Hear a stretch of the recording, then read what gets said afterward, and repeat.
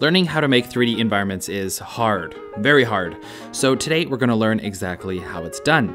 Our good friend Stefan is going to show us how he makes beautiful environments from simple modeling to sculpting in ZBrush, and a unique way and fun way to create vegetation, and then how to throw it all together in the powerful Unreal Engine.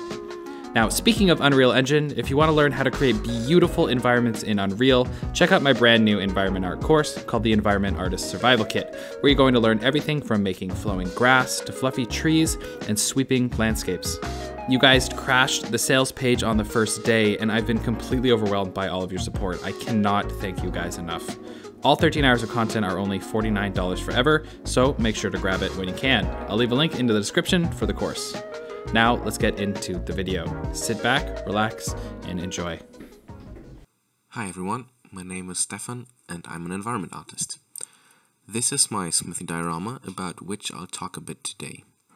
My goals for this project were to build something with a lower scope, so didn't want to build just a huge environment, so I thought about a diorama. Further, I wanted uh, to improve my texturing skills and maybe add something cool to my portfolio. In the beginning I didn't know yet that I wanted to do a smithy, just a diorama with a low scope. So I just browsed through ArtStation and Pinterest and found uh, the pixel artist Mupixl, who made this cool pixel uh, art uh, smithy, and I liked it so much that I took that as an inspiration instead of just a concept of something I could work off from, and decided to just uh, search for references, real life references of uh, smithies. When all my reference gathering was done, I started with my block out, just a really uh, early stage, and uh, just got feedback uh, from others in communities and uh, decided to add a little bit more materials to it, so that's how the wood came into it. Then, uh, after even more feedback, always just ask for feedback, change stuff, iterate, and until you're happy and it looks cool. Um, after that, uh, I thought, okay, just the interior is a, a, bit too less, so I decided to make an, a small exterior as well. When I was happy with my layout in 3ds Max, I decided to uh, make not a new block out in uh, Unreal Engine, but uh, to just get some uh, older assets I already had, or just grab some free assets uh, from uh, some stores, and well, kind of build the environment in Unreal with those assets, just to get a better feel of how everything could look like with colors and textures. I also did a, a lighting block out in this uh, scene just to get even more uh, the feeling of how it could look like in the end. In this phase everything still does not look that good as you can see, especially the exterior ground texture is really horrible. But well, it's alright, just uh, it was just to get uh, a better feeling for it, so I just kept it didn't bother too much. So, yeah. After that phase, I uh, just, okay, had an idea. Okay, that's what I wanted about to look like. Those uh, things will be there. The lighting will be like this. I need a, a tree which I can duplicate and just make scaled a bit smaller. And I had my plan, had an asset list, uh, which models I want to do and what uh, kind of textures I'll need. So I started my asset creation and started uh, step by step to replace everything. Here you can see I imported some uh, new wood parts. The wood stash uh, stash is new. Um, I also okay decided that the green of the grass was just too bright, even if it was just a full block out. So I toned it down a bit. Um, then I imported my grass after it was done, as you can see here already had uh, also made some barrels and some other stuff's already done in here. The uh, plaster material, tiling texture on the walls is already also done in this one, but everything is still uh, pretty dark and the lighting is not there yet. Here I just added some ferns and the trees, which already gave it a, a bit better look. And this is how the scene ended up in the end. And it's just uh, everything was imported now, and um, I did the lighting and had a just a small uh, post process uh, pass on it. And yeah. Now that you saw the progress of my smithy and how I approached some of the stuff, uh, I'd like to show you how I created my tiling uh, brick texture. Then I'd like to go a bit over um, how I created my foliage and uh, maybe just briefly go over my master materials uh, in Unreal. So the way I created my brick wall texture was a little bit uh, back and forth between 3ds Max and ZBrush and later on a Substance Designer. But for the modeling part, you I probably uh, could have done it just in ZBrush, but I just felt a bit more comfortable for a few steps in Max, so in Max, so that's why I did it in Max. First of all, I uh, am in Max. I just start creating some basic boxes, whatever I want, just scaling them and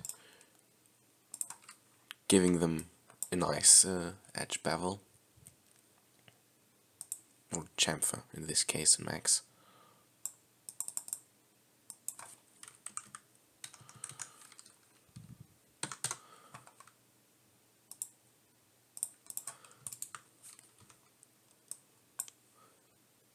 And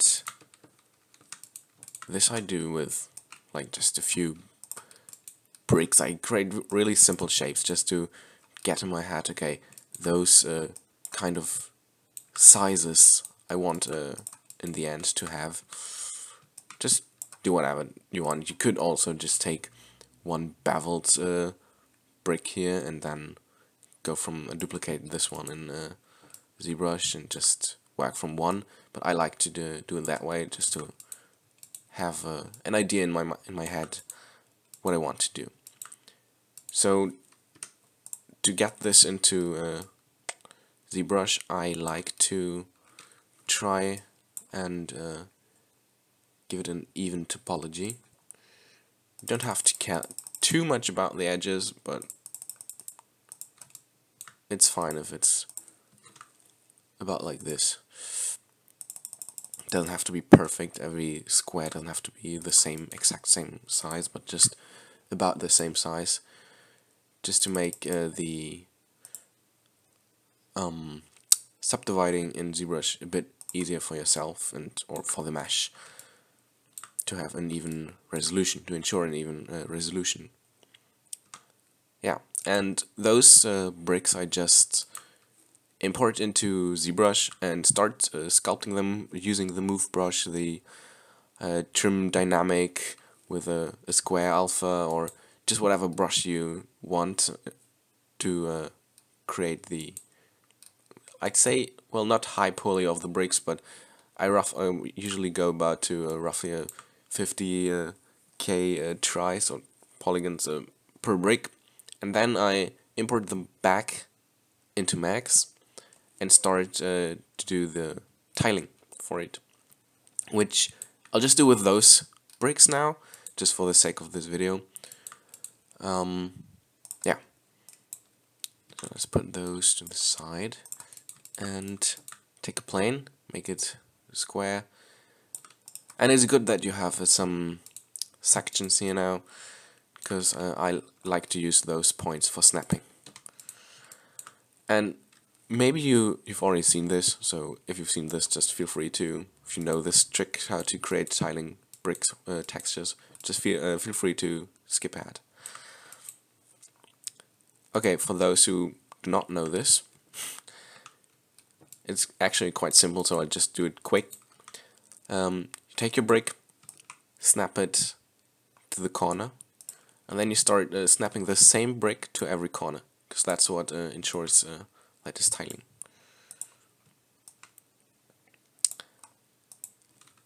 If you now want to move the brick, you don't want them to be exactly in the middle of uh, the the brick one. You don't want the middle of the brick to be at the exactly at the corners of uh, your plane or your texture. You now can just take them all and move them together. Always just remember to move them together. So you have to do the same for the upper part and the up up and down and uh, left and right.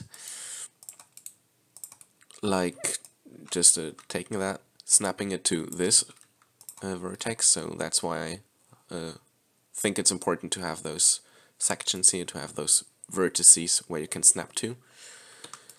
And then I just snap down here. Select both and move them how I want to so there are two ways I think you could approach this. You could either just uh, start with um, doing first the the sides of it. So also going like okay I want this one here. So you need one here as well. And then if you want you can just move them or even move them upwards here. Um, but I don't like to start with the sides.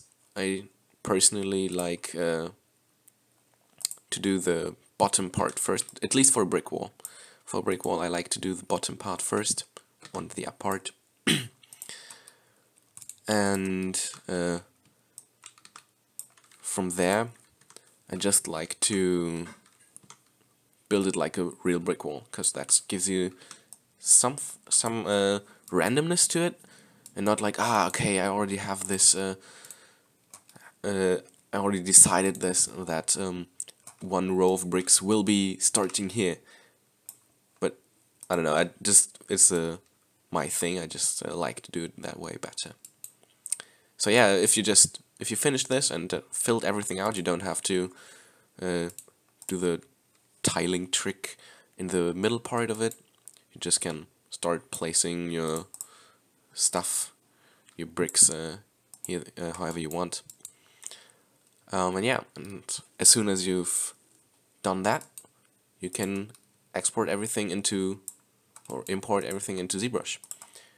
Oh one thing um, what I liked to do was uh, for my texture at least you do not have to do this but um, I liked uh, I took this plane and well, those are a bit thick maybe. Uh, like this I don't know.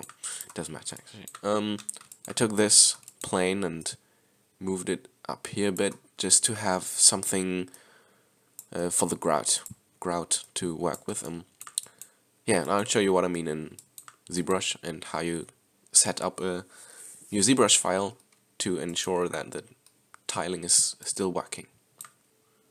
Okay, if everything is imported uh, into ZBrush, just make this quick. Um, one important thing you have to do is uh, first you create a plane or import a, a plane which uh, is behind your brick wall. This will be your camera plane um, on which you will focus if you want to work or just bake out. You don't have to work with focus on this plane, but if you want to bake out your textures, you have to focus on this. Like uh, your document has to be a square shape, then you just go in front mode and click your camera plane, press F to focus, sometimes it takes a, uh, to tap a uh, twice, and now your uh, brick wall should be tiling, if you made everything correct. Now, if you want to uh, make a brush stroke, like, okay, with just with this, you'll see that it won't uh, go over here, so it does, uh, it'd be a pain to just try and do it like this. So what you have to activate is uh, the wrap mode. I put it here, but uh, to have a quick access to it. But you can find it under brush, curve, and just here wrap mode. And uh, just uh, put it to 1 then it should be tiling hopefully. So now that it's uh, at 1 the stroke should come at this side. Yeah and uh, you have to do this with uh, every brush you use so if I go to my trim dynamic you see uh, the wrap mode is at 0 again so it won't do anything and just put it to 1 again and yeah the same with, is for your smooth just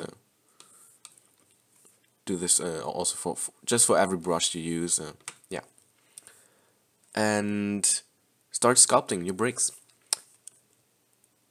Another thing what I wanted to say is uh, I said that I put this uh, plane here for the ground and all I did with this was just subdivide it a few times and just start uh, pulling out with either uh, my standard brush just pulling it out like this just really uh, just like that. Do whatever you want getting get it out like this. And yeah that's how I approached uh, my brick wall and for baking I uh, just put the flat color on it and flat color material texture, GrabDoc, and export. And now you could uh, use this as a mask in Substance Designer. Next thing uh, I'd like to talk about is uh, foliage. So for foliage I'm uh, back in ZBrush and I often just start with a sphere for sculpting my high poly.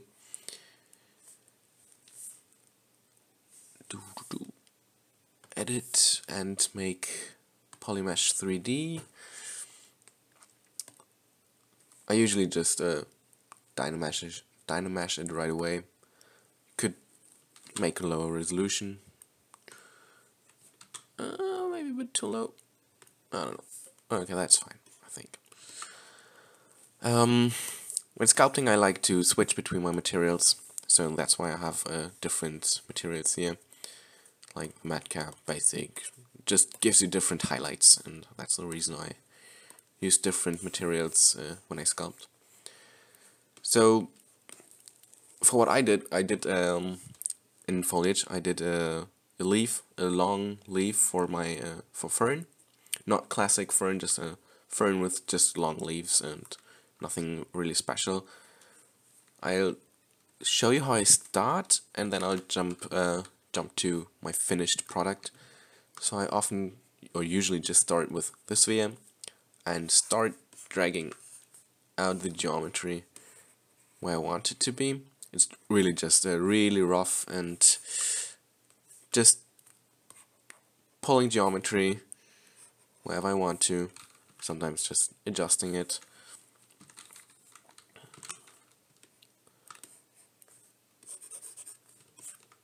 dynameshing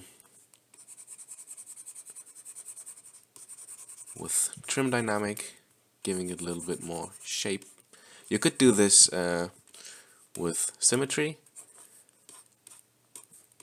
but I usually don't do it so feel free to do it could be beneficial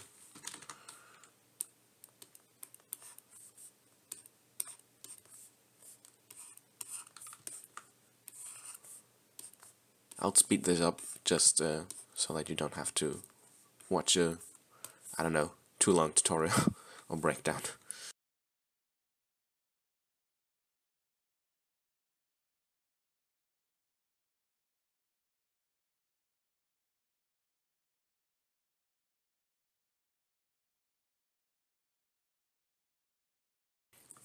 So to create um, a more like leaf shape I uh, take the standard brush and just try to do a stroke down here. You also could use uh, lazy mouse or I think shift but to make a straight line.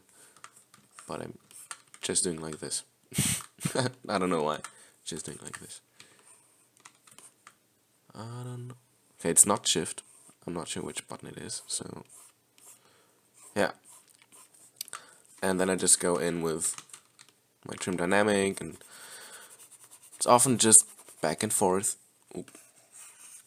working on it adding stuff destroying the stuff you just did adding it back in and slowly just get the shape you want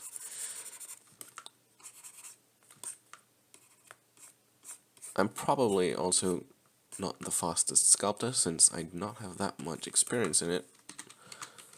But it doesn't matter.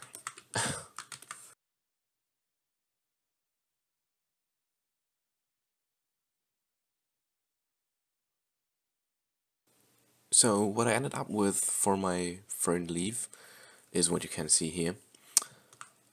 Um, I added some color.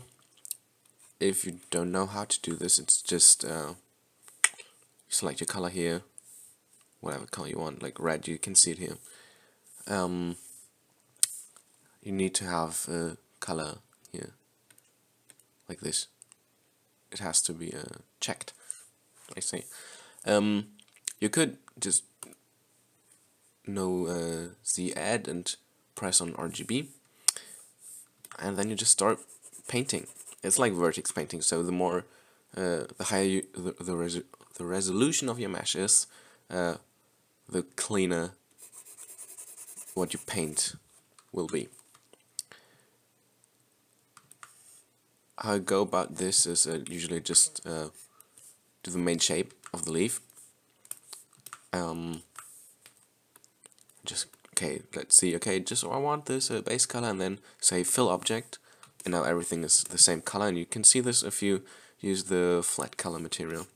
It's everything the same. So I like uh, using uh, the skin shade 4 because it's quite similar to the color of flat color but still gives you some 3D uh, information, some shading. And from here on I just uh, take different colors and lower the intensity and just start painting on it. Don't have to be too precise for your base color since uh, most of the information will come from your other textures. Um, try to do like gradient if you wanna and whatever just do some color variation in it put put some color variation in it and leaves usually have some like I'd say well, scratches. It's scratches, for which I just take a light color, use Z sub with kind of low intensity, and then I start cutting in. Well, maybe the intensity of RGB is too high, it's too low, and yeah, here you can see it, so there now is a bit more normal information, and you have also color information. Here. So that's what I like to do for some stuff like this. If you have uh, like, okay, uh, my leaf is a bit dry here, so you could take a brownish color and I often use a Mallet Fast Brush. I like this, that one, with RGB and uh, sub together and then just uh, higher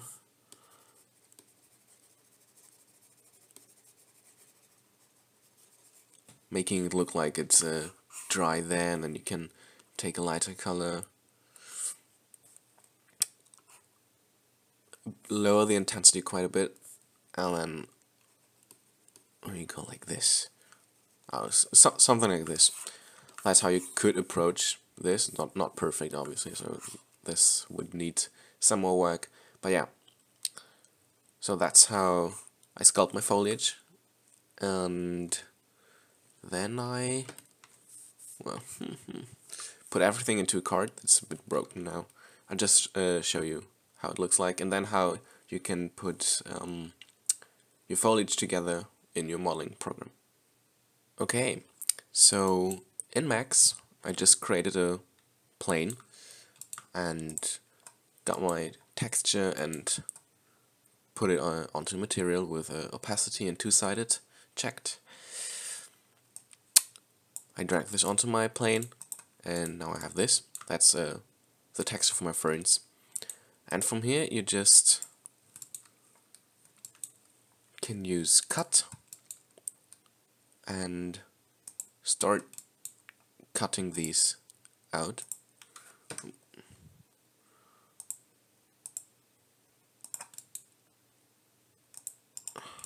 Doesn't have to be perfect at first. Um, just cut them out.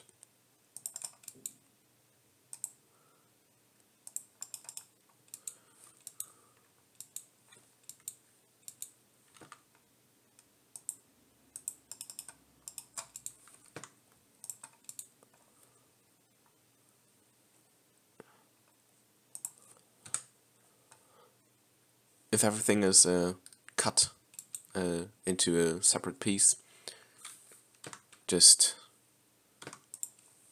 get the face and use detach.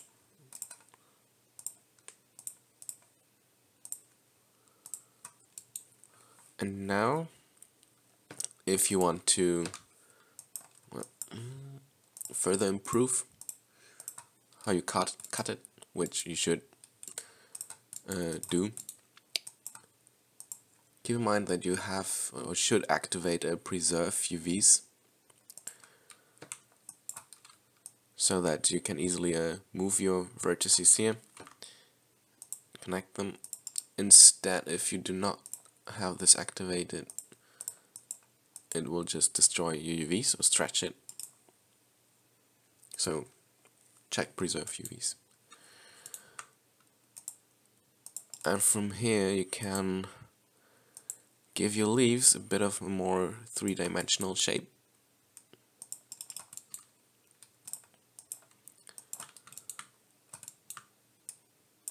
Maybe like this, I don't know. Just do it quick now. Um, what you want to do, oh, uh, and actually you shouldn't, often it looks a bit better if you move your vertices down, if you have then a preserve UVs uh, deselected, kind of just feels better, I don't know. Um, yeah, but stuff like this here, like this vertex, you could easily just put it a bit closer here, or even decide, okay, um, that's a bit hard, so I just cut one more time here and drag it out like this. Because um, opacity is more expensive than polygons so just that if you just have like a two more tries or four more tries it doesn't matter really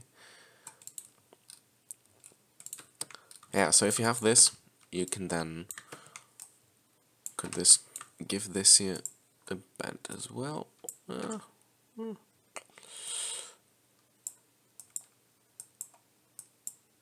uh, really simple just like this just like that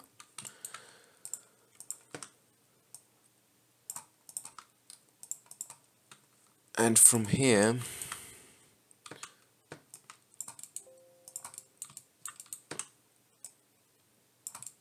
can just start by building your fern or your foliage you want to.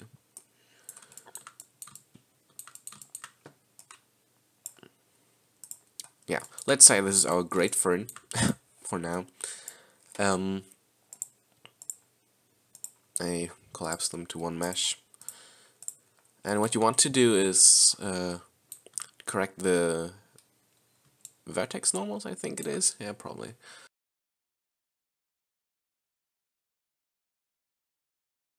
Um,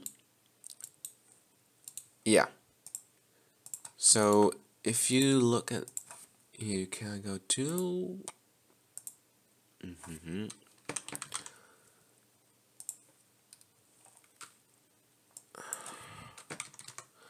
You can see those are the vertex normals of your mesh and what you want is uh, not for them to go like in whatever direction they want to.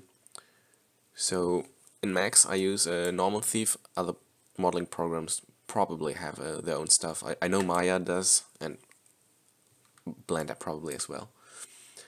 You just uh, in Max you take a plane or um, in for Fern I'm not sure. Sometimes I use a plane but uh, you could also just use a sphere to steal the normals from that sphere. So the higher the the higher the resolution, the better it works. I think, at least it, for me, it works better with a higher resolution mesh I can steal from. Just taking hemisphere covering my mesh and both uh, have to be an editable mesh, in Max at least.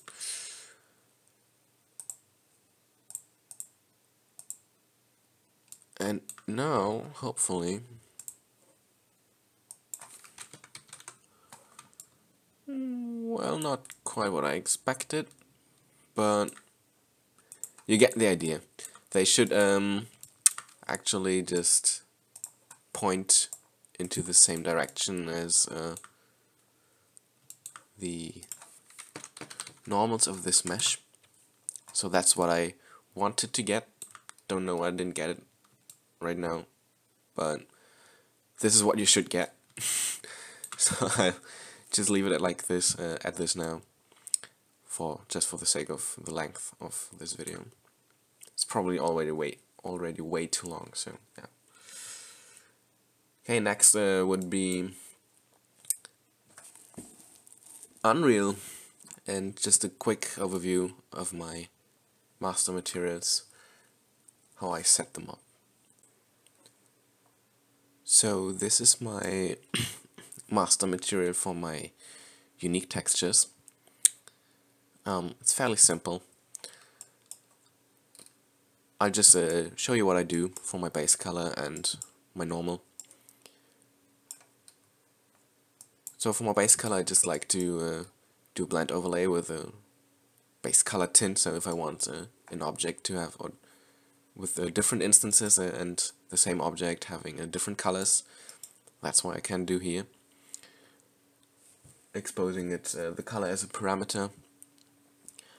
It would work better if my base color would be just gray values, so you could do this with a desaturation node somewhere in here but I didn't do it for this one. I don't know why I just didn't do it.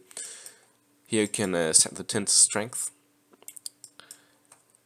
So you choose the color and then say okay I want it to be tinted as the original. So you have it at zero and if you want it uh, to be tinted like at maximum color put it at 1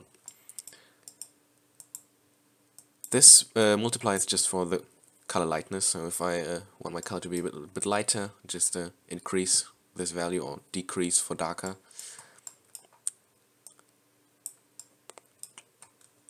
And a power node is uh, nice if you want more contrast in your texture. So I often uh, increase uh, my contrast in engine and then sometimes just uh, still use the base colored lightness to lighten it up again a bit. Um, yeah, I up here I have a, a second UV channel, but that's not too important right now.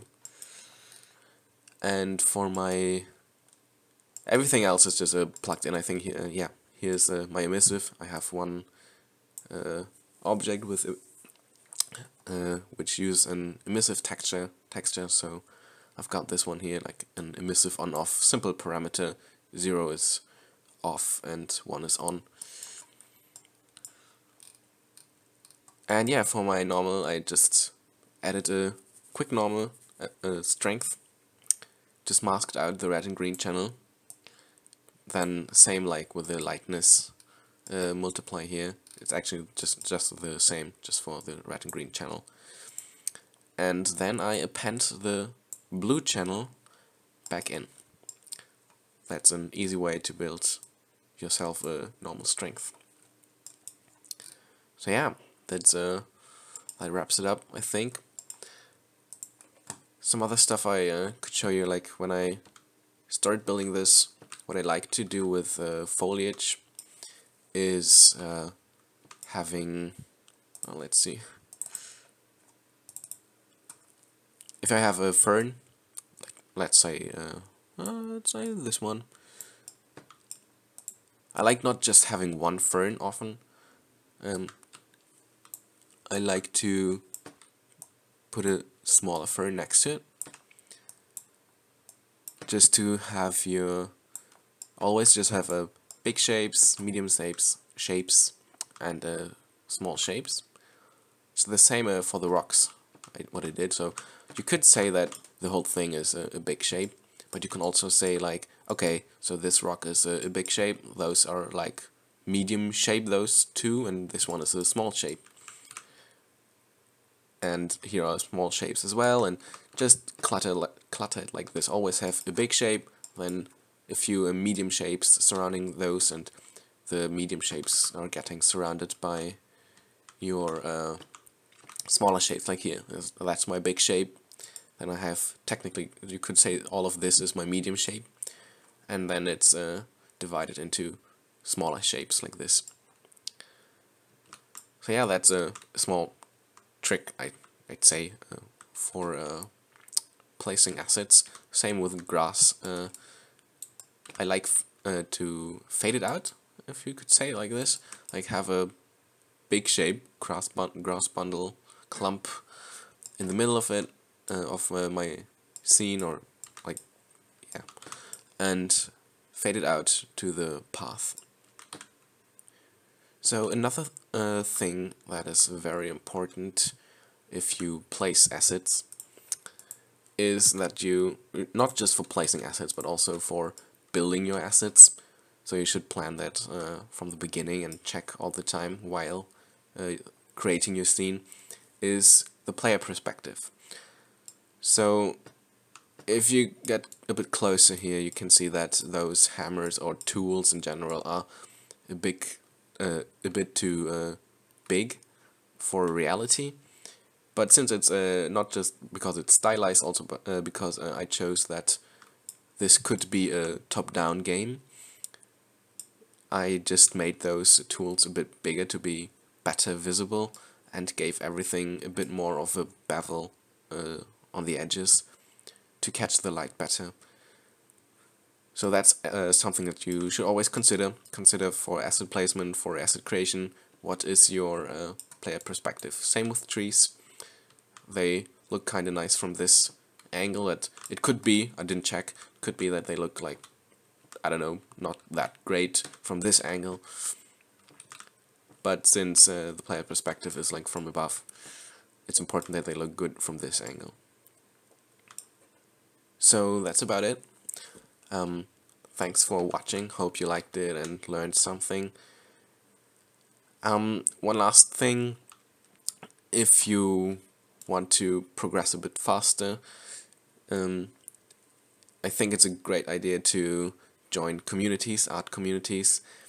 Uh, I, for ex uh, myself, for example, uh, I joined um, the Dinusty and the Experience Points communities on Discord, and I often uh, ask for feedback for this scene in those communities, so it's important to get feedback. Join communities. okay, uh, have a nice day. Thanks.